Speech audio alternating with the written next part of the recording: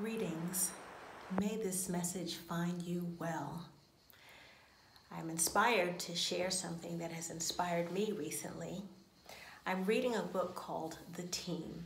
I'm on the third book in a series of four books that are written by a daughter by the name of Frances Ray Key as dictated to her by her deceased mother, Teddy Crystal Key. These books have altered my perception on what it is to simply be alive in this realm in such a positive manner that I look forward to sharing them with the world on a much larger scale. So if you're looking for a read, information, um, that can help to uplift you and to give you a broader perspective on what it is to simply be living on this earth. I promise you, these books will not disappoint. They're called The Team, T E A M.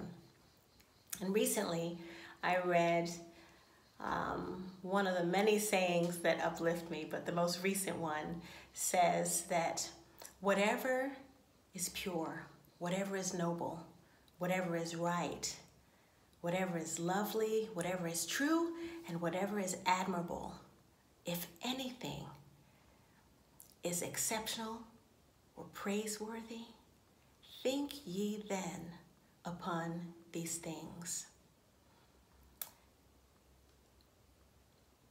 That has really helped me in the last week or so, just in terms of me being aware of my reactivity or me being prone to responding to situations or being triggered in a manner that um, evokes negative feelings, even worry.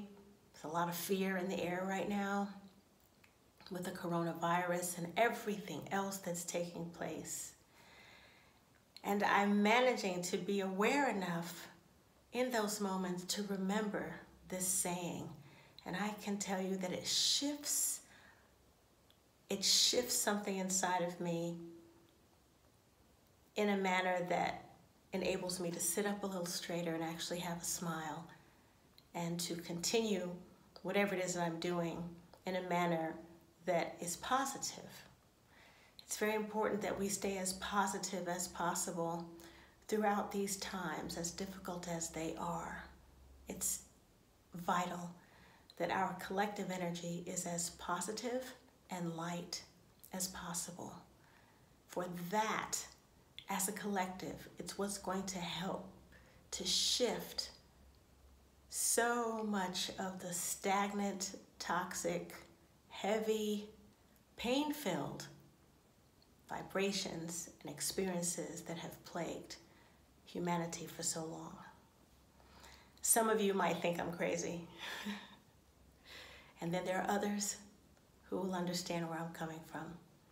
So, take care of yourselves, and from my heart to yours, ciao.